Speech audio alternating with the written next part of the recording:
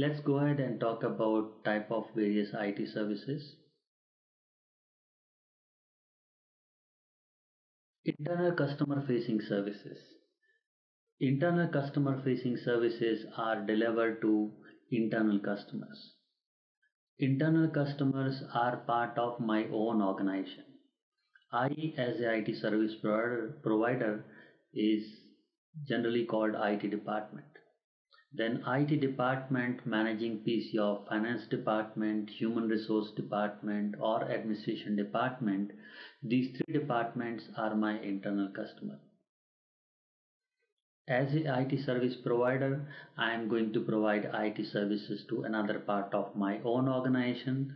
This is called my internal customer and the services which I provide is called internal customer facing services. IT services that is that directly support a business process managed by another business unit. For example, uh, my company has various business unit. There is a, a banking business unit, there is an insurance business unit, there is airline business unit. They have their own customer. Banking business unit has a customer like Bank of America or American Express Bank. Insurance business unit has their customers like uh, Aviva or Norwich Union. Airline business unit has their customer like Boeing or Airbus. They provide services to their customer. We manage their PC, we deliver services to these business unit so that they can serve their customers.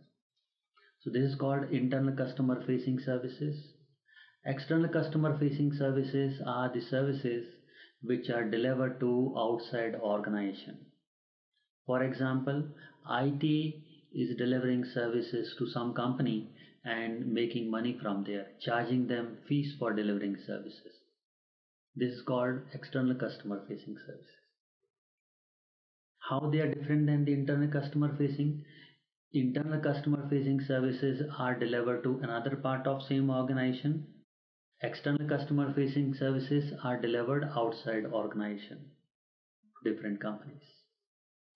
Supporting services. Supporting services are the services which are not used by my customers directly. But these services are very much required for my customer to use other services. For example, my customer in a banking example using net banking application net banking application is not going to work unless hosting is working, firewall is working, bandwidth is working, and various other services are working.